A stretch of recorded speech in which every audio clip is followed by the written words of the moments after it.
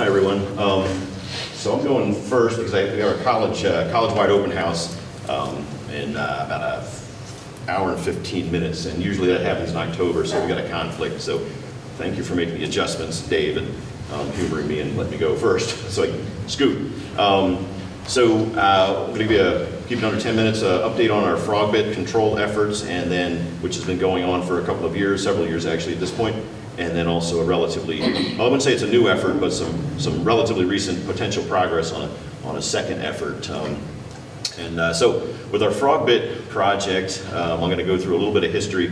It's, uh, we can't look at this as an eradication effort anymore. I don't think there's any way we're going to get rid of this plant, um, this basic plant. I'll show you some maps here in a little bit. But uh, basically it grows back up into areas that we simply are not going to be able to get to. Um, uh, it's just not going to be feasible. So, but we can control it. And so we've got a, a so that's been, been working. Um, I'll walk you through that a little bit. I've got to um, certainly uh, Lauren Lyons has been a you know, real force behind that effort since the beginning, um, securing some DEC funding to, to fund a, quite a bit of effort over three years and then also help uh, segue into a, a, a, scale back effort this past year and hopefully years going forward. And um, so Lauren, very instrumental, and really spearheaded this whole thing. The Ham family have been fantastic for letting us use their property up at the north end of the lake. Several vehicles every morning for much of the summer. Doesn't do their lawn any favors and uh, they've been continuing to be very cooperative, and we certainly appreciate that. We had a lot of different young people, mostly relatively young people, college students, high school students, um, helping with the project, and then more recently the, the town uh, putting money forward towards the, uh, this most recent year's effort. All right, so uh, about the plant, you know, we haven't met, we didn't meet last year, so maybe a refresher if you weren't aware of it. This plant was first uh, observed in the lake uh, back in, I think it was 2014, as best I can tell from the records from Bob Johnson. So it's been a while. After that, talked to Bob about, you know, the feasibility of maybe trying to get a control over it. And he said, yeah, it's a floating plant, truly floating under most certain circumstances, under most times you find it, it's, it's floating, so it's easy enough to get. Um, more on that later. So we started talking about you know ways we might approach this. Um, and so that ended up getting some money together to be able to fund some, what we were hoping to be an eradication effort.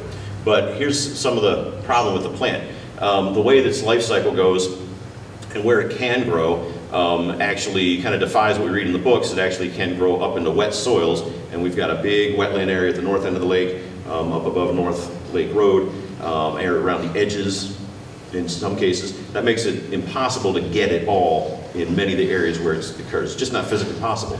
Um, it's basically the transition between truly aquatic, where you get with a canoe, and where if you step out, you know, you're stepping on a, a clump of vegetation and then you sink and you just can't get it. Um, and it produces these what are called turions, these overwintering buds that function as seeds, um, but produces plenty of them, and they move in the water.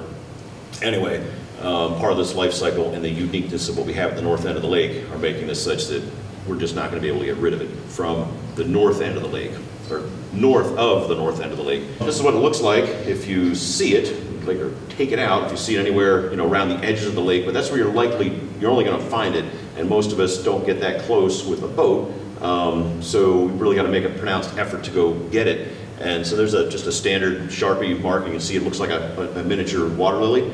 It has, it's actually a really attractive looking plant, but spreads very rapidly. This is not a this is not an over-the-top density photo. This is typical how it grows. So there's there's not much light getting past this. The oxygen being produced here is right at the surface. Okay, this is a different. This is really altering what's below, and we've measured that um, just to see kind of how much that would alter the environment up at the north end of the lake, and it does have an impact.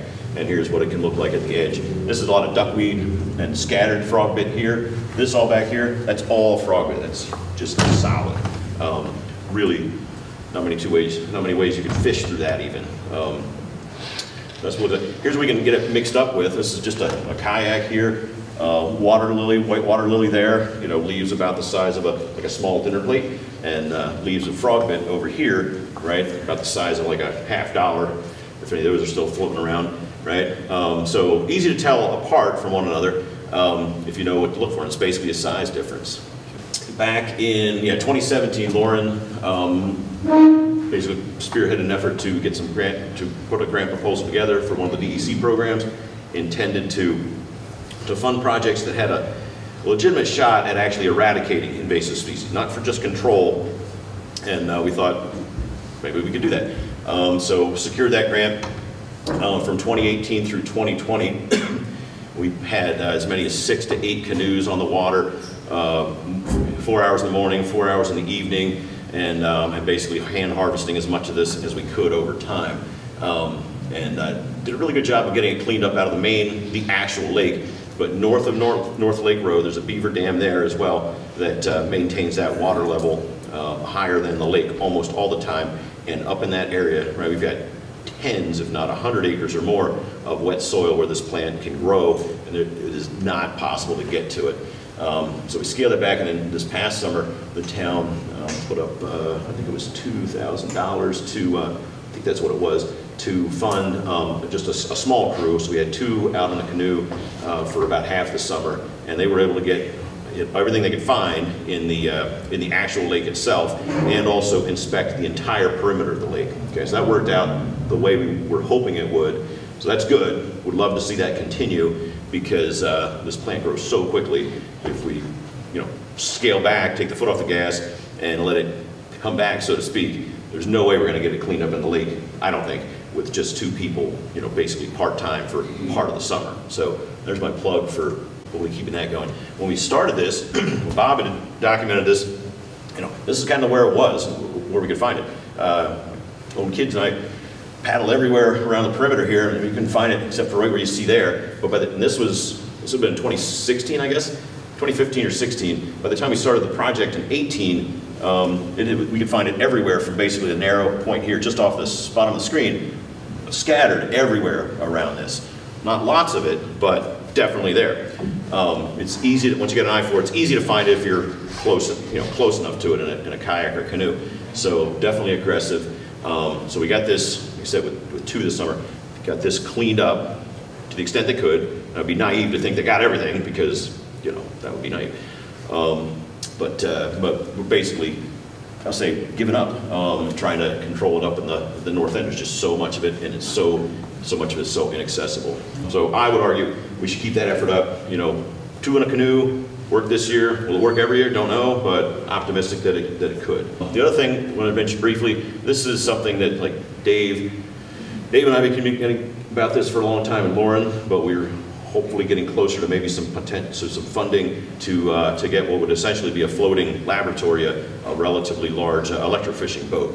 Um, one that would be large enough, you know, I teach the college, undergraduate students, I just not enough time in life to take them out two at a time, which would be typical, like you see here, operator there in the back, and then two netters up front. Um, but uh, what we're what we need to get if we're going to do this is something that we can actually have four people on there. So that's a that's a that's a big jump, substantial jump, I guess, um, in terms of boat capacity. But the way this works is, uh, well, would work for us, is to be able to mimic the protocols used by the DEC in all inland waters for, uh, you know, a lot of the sampling is for, for bass, also sampling other species.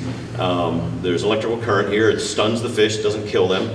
I mean, the mortality rate is not 0%, but it is very, very low. You err on the side of you're going to miss some fish, um, and then uh, and trying not to, you know, try to have mortality very, very low, much less than 1% for sure. And uh, so you've got electrical current, how well you can see these booms, but they're like a like a like a spider's legs sticking down the water out in front. And uh, in this particular boat, it's got wires um, hanging down from the edge of the boat. Sometimes the boat itself will actually serve as the to close the circuit. Generator there in red, um, and then there's a control box for the the electrical current, frequency, and voltage, et cetera, that you can't see can't see easily from here. A live well right here where the fish are going to go, and then long-handled nets because you're uh, potentially getting fish that are stunned as deep as maybe six or eight feet, and their your shoulders are maybe six feet above the water. Um, so this is what we're what we're working towards, and uh, so we've got um, Dave. You can jump in here, obviously, please to explain better maybe some of the funding, but what we're working on and really close to having a, proposal to submit to uh, um, Senator Rachel May's office um, for the bulk of what this would cost. This is expensive stuff. We're looking at a unit that might be probably 100,000 or $110,000. Um, all the electronics and a relatively large boat and the cost of aluminum. Um, and the CLA has indicated support for a substantial chunk of this, and we've got our institutional advancement folks at the college are working on, uh, working towards getting some donors um, interested in helping this as well. We had a major lab renovation project about six or seven years ago, which in the big picture isn't that long ago, and uh, some of those folks were very generous to the college in the past, and we're hoping we can get some of them on board, no pun intended, on board to help uh, support this, uh, this effort. So this is in the works, cautiously optimistic. This will be huge for us on the lake, um, the capacity to use this, and it would be a huge shot in the arm for us at the college, which is, you know, an important part of the community as well. Um, and students like Rock over here, who's running the camera, because I have to bolt as soon as I get done, talking. Um, Dave, do you want to add anything? So Lauren Lyons is helping us apply for a grant um, through the state. Um, It's kind of a long process, but we're hoping that, you know, we start today, you know, a year from now, we'll be able to, to have some success with respect to this. Um, In my presentation, I'm going to go over why this is actually a fairly important um, uh, barometer for us, an important thing for us to have as a lake to be able to actually understand what's happening in the full ecosystem. So I'll go into that in a little bit of detail, but Thad, let me just throw this out to you. Thad does sampling every year, but what would you say, and Spot, what would you say the difference between having this boat is in terms of accuracy versus the netting, and then the fish kill of the netting versus this? Sure. Yeah, that's a good question. Actually, there's another, I forgot, I have another photo of another example there as well. Um, So the, uh, the mortality rate is low in both cases. Uh, The trap nets that we use, they're a passive system, they're like a giant minnow trap that we, and this is what many of you have heard me, me- well, actually, students in the last about four or five years um, reporting on data. The advantage here, and this is huge, is that this is an active method. So this is actually moving through the water. Um, The trap nets we use are much more, I'll say, weather dependent, like, because I, I can't, we can't go out and move those day to day. We just don't have time because I've got three-hour labs. We don't have eight to 10-hour work days like we could have if we were, you know, undergraduate students within the context of that program.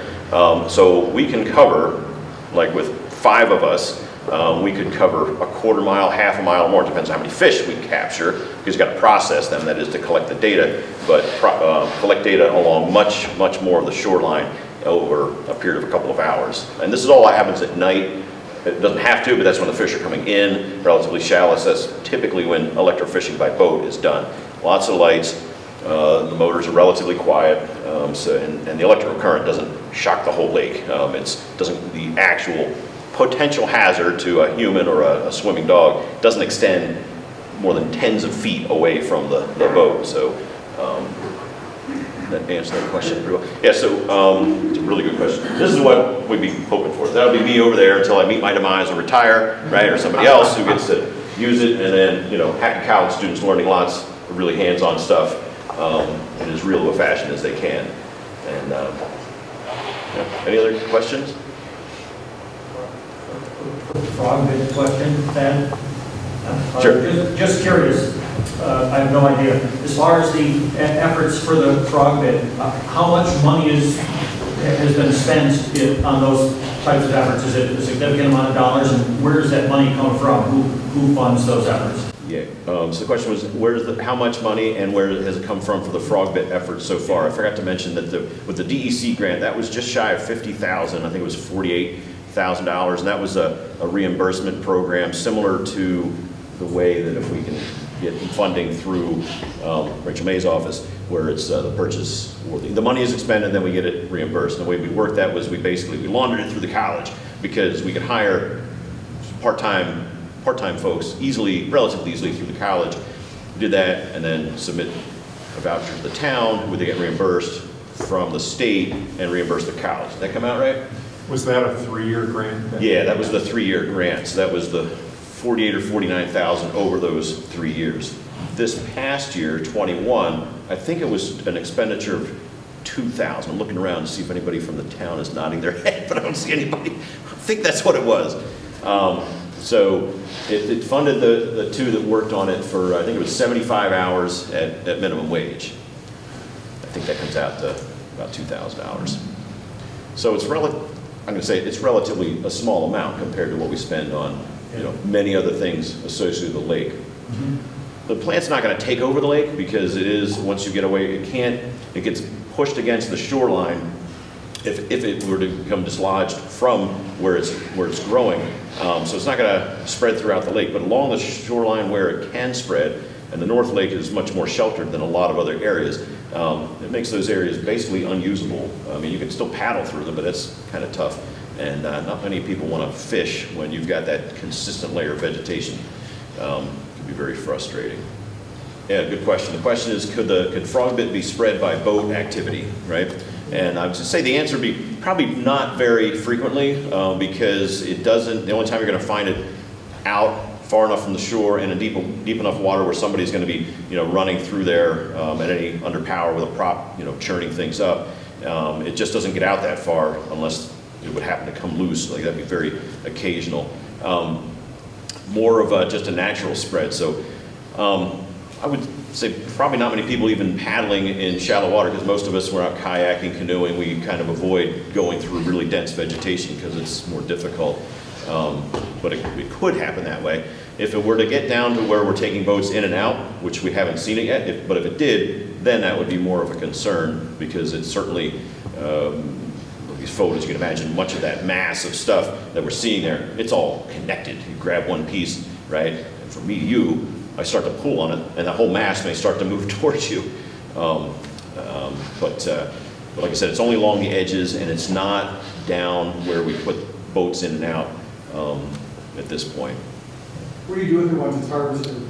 Oh, what do we do with it once it's harvested? So basically, you know, it, it has to be in an aquatic environment to survive, so we basically wad it up and put it up on shore, and uh, within a couple of days, it's dry and drained enough, it's, it's done. Um, and it actually starts to go from a, you know, a pile maybe this high, and it just starts to, it's mostly water, most of what we're getting, so it, and it starts to decompose pretty quickly, because it's all fairly thin, whippy stuff. Um, so we have kind of put it out of the way, trying to make sure we're not putting it where somebody, oh, what's this pile of stuff doing here, you know, near our, our dock. We load the canoes and then, you know, put it someplace where it's out of the way to the best we can. Um, so what, the purpose of the electric boat is to monitor the fish population in the lake? Right, but, yep, And then when you do catch like invasive species like scaup carp or stuff, you take them out? if we did catch, yeah, we would, yep. I would, well, okay, let me say this, I would make sure that's okay with the DEC, because I don't have as part of the permit, I got a hold to use unusual means to capture fish, that's not part of the, the deal, but I would double check, and I can't think they would object to that, yeah, that's a good question. Um, it would be a really good mechanism for detecting um, invasive fish species, because you cover a lot of water, and, um, and it's a, it's an effective means, you don't capture all the fish, mean, you, you don't want to capture, you want to keep as many, minimize mortality, and that means you're going to lose some of them. And some are, some are relatively susceptible, say, you know, for things in the pike family, like we have lots of chain pickerel, they tend to just scoot away from the electric current, so you, you get fewer of them proportionally than things like, you know, bass. And, uh, but also, this is the same method that was used by the DEC to see if our, that walleye stocking program um, was successful because you're because you're capturing all you have the potential to capture all kinds of fish that are there, even though you might be targeting and specifically interested in, you know, for example, smallmouth and, and largemouth, for example. Right. Any other questions? The one thing I would add is that, um, just with respect to the funding, um, Rachel's been out, Rachel's office has been, uh, at Gardner staff. Um, they actually reached out to the CLA to see if we had programs that, um, needed some funding. um, Because they do have some additional money, and she's, her and her staff very interested in it. So, um, I give them a lot of credit, because that's a, it's a pretty unique thing to have that, um, from somebody, so I'm very happy to hear that. So, Thanks. All right. Nice job. Thanks, everybody. See you next year.